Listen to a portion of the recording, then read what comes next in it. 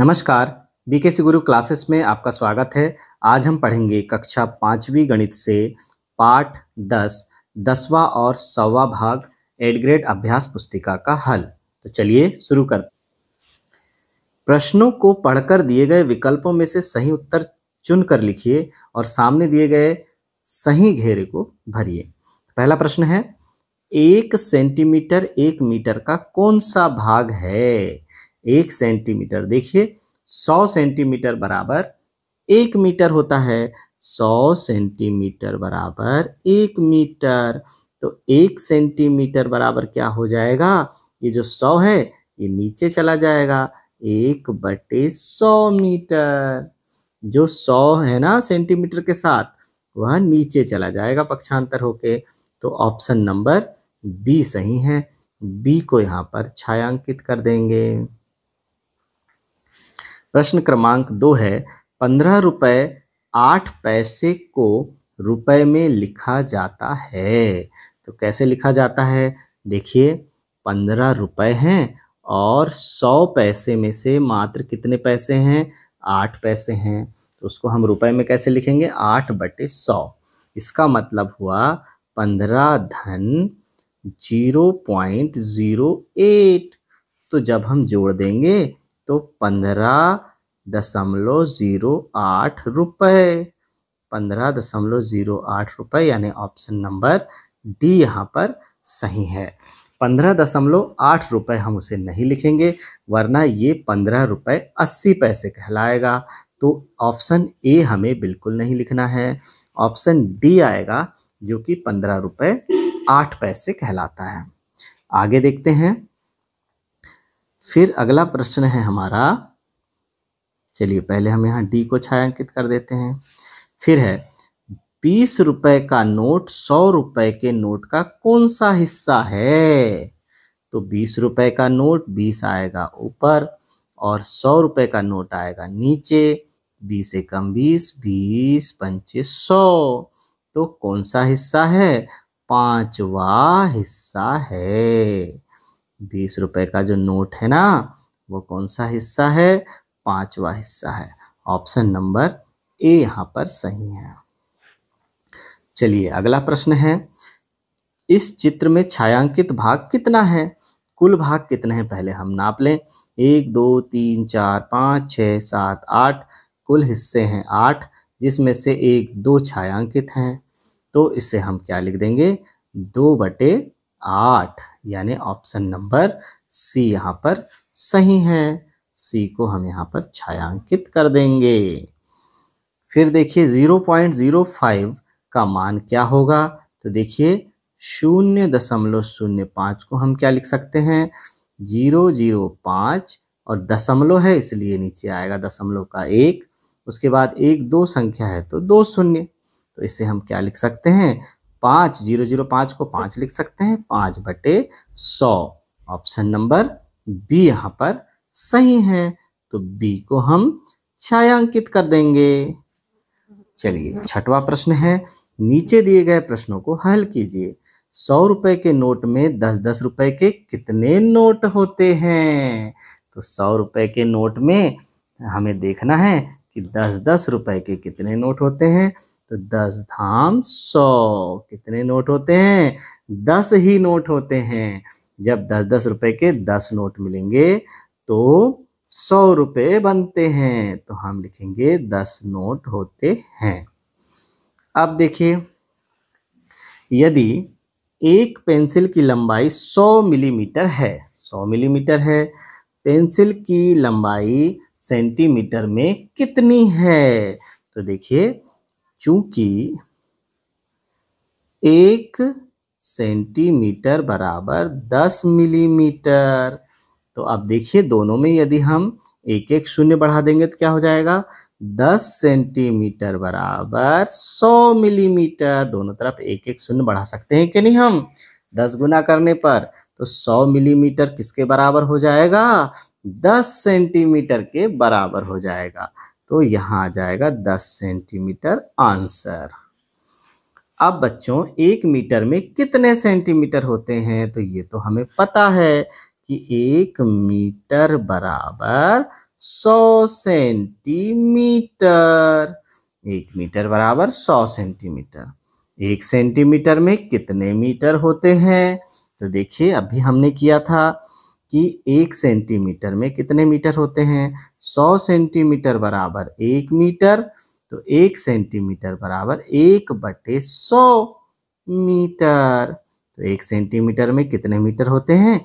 एक बटे सौ मीटर, या उसे हम लिख देंगे zero point zero one metre.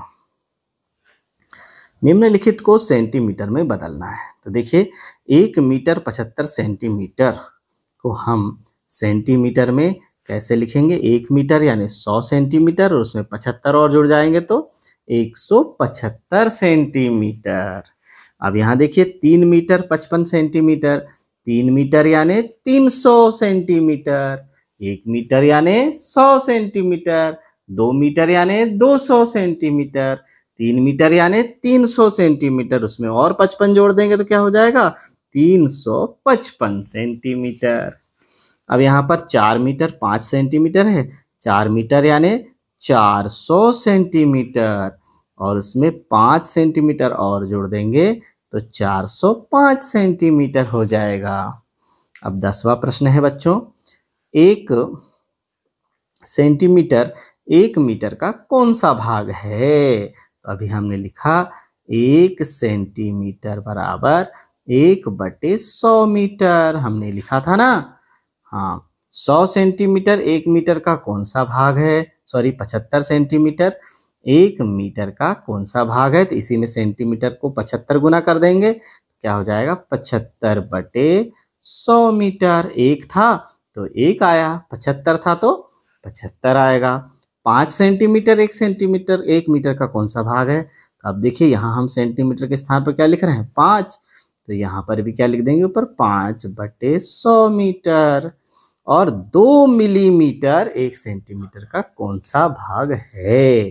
तो देखिए, हम जानते हैं कि दस मिलीमीटर बराबर एक सेंटीमीटर होता है इसी का। तो एक मिलीमीटर बराबर क्या हो जाएगा? ये जो दस है, वो नीचे आ जाएगा, एक बटे दस सेंटीमीटर। लेकिन हमको कितने मिलीमीटर चाहिए? दो चाहिए। तो यहाँ हम लिख देंगे दो। दो मिलीमीटर बराबर क्या हो जाएगा? तो यहाँ भी एक के स्थान पर क्या हो जाएगा? दो बटे दस सेंटीमीटर। है ना आसान? जितना हम करते जाएँगे यहाँ एक के स्थान पर, यदि पाँच मिलीमीटर करते तो पाँच बटे दस सेंटीमीटर होता। आगे है, दिनेश की लंबाई एक मीटर बावन सेंटीमीटर है। दो मीटर की लंबाई तक बढ़ने के लिए दिनेश को कितना और बढ़ना होगा? तो देखिए, दो मीटर बराबर 200 सेंटीमीटर। और एक मीटर बावन सेंटीमीटर को क्या लिख सकते हैं? एक सौ बावन सेंटीमीटर। कितने की और ज़रूरत है उसको बढ़ने की? तो दस में से दो जाएगा तो आठ, नौ में से पाँच जाएगा तो चार इकट अड़तालीस सेंटीमीटर और बढ़ेगा। तब जाके दो मीटर हो पाएगा। आगे है। निम्नलिखित को सेंटीमीटर में बदलिए। तीन मिलीमीटर अभी हमने बदला है ना। एक मिलीमीटर बराबर एक बटे दस, दो मिलीमीटर बराबर दो बटे दस तो तीन मिलीमीटर बराबर तीन बटे दस सेंटीमीटर।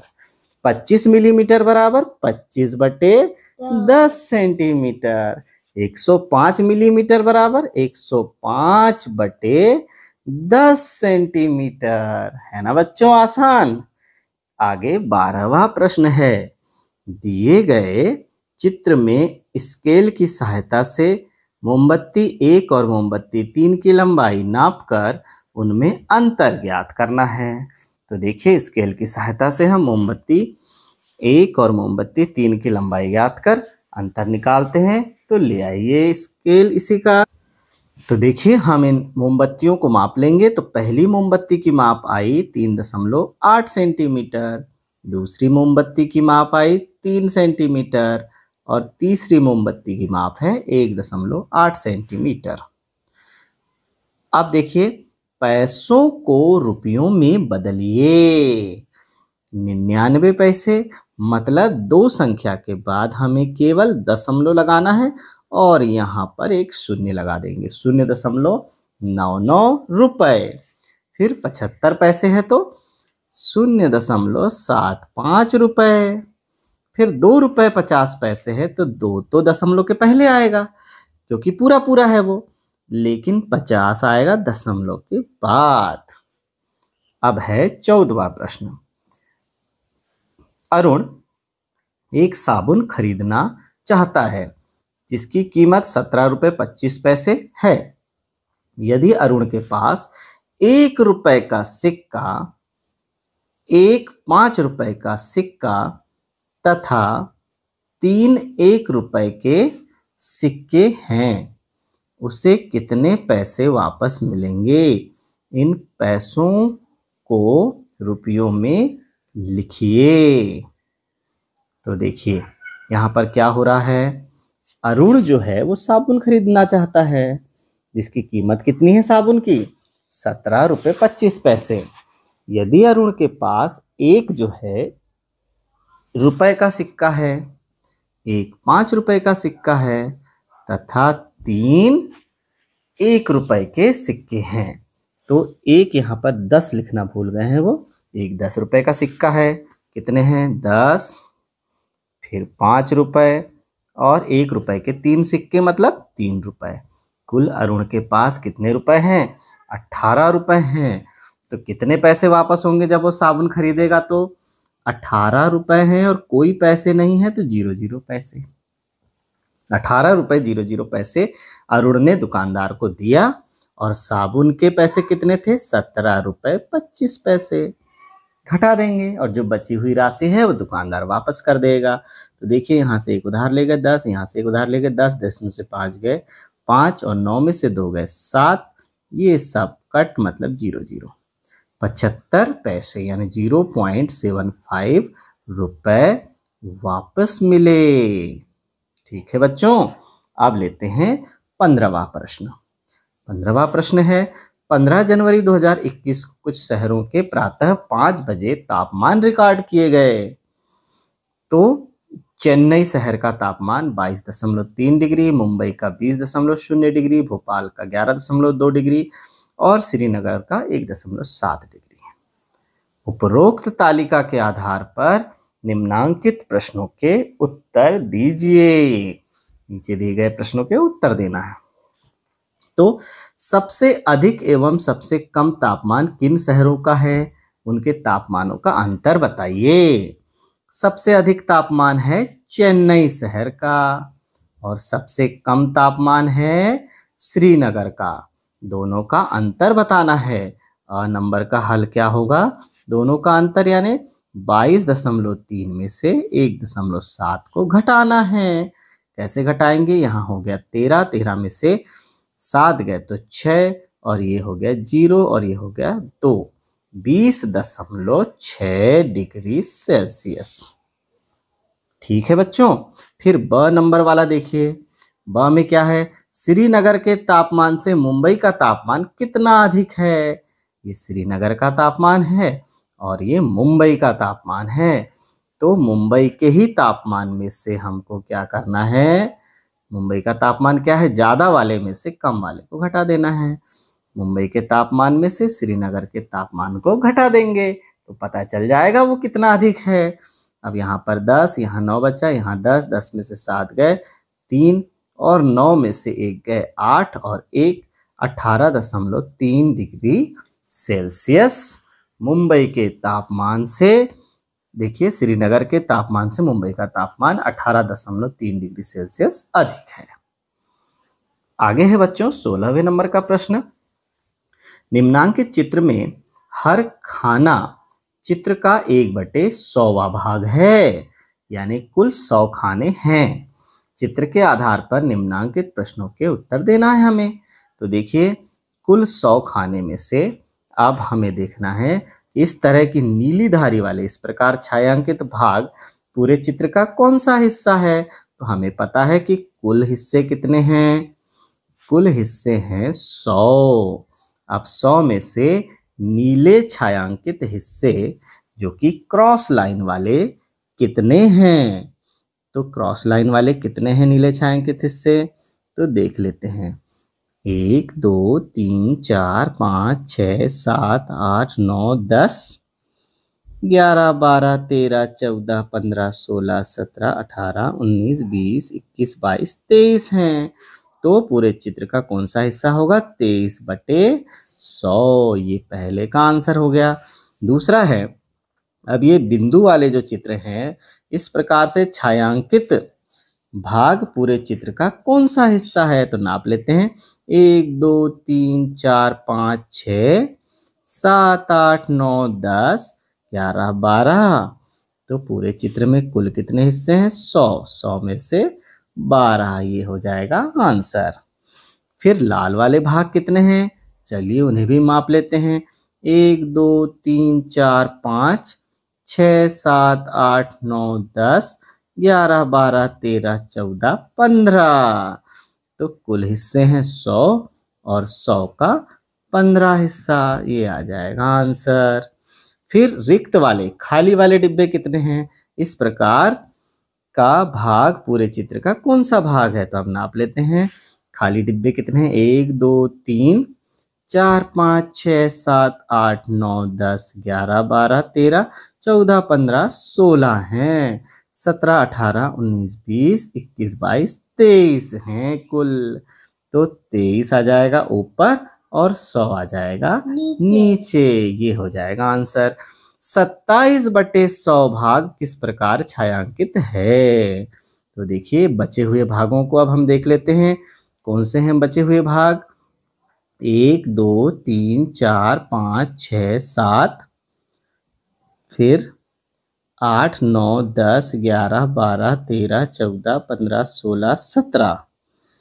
अट्ठारह उन्नीस, बीस, इक्कीस, बाईस, तेईस, चौबीस, पच्चीस, छब्बीस, सत्ताईस। तो देखेंगे कि सत्ताईस बटे सौ भाग आड़ी धारियों से आड़ी धारियों से छायांकित है। तो कैसे हैं? एक प्रकार का भाग नीला है और एक प्रकार का भाग लाल है। तो सबसे पहले हम देखेंगे कि लाल आड़ी धारी वाले भाग दस हैं और नीली आड़ी धारी वाले भाग कितने हैं? वो सत्रह हैं।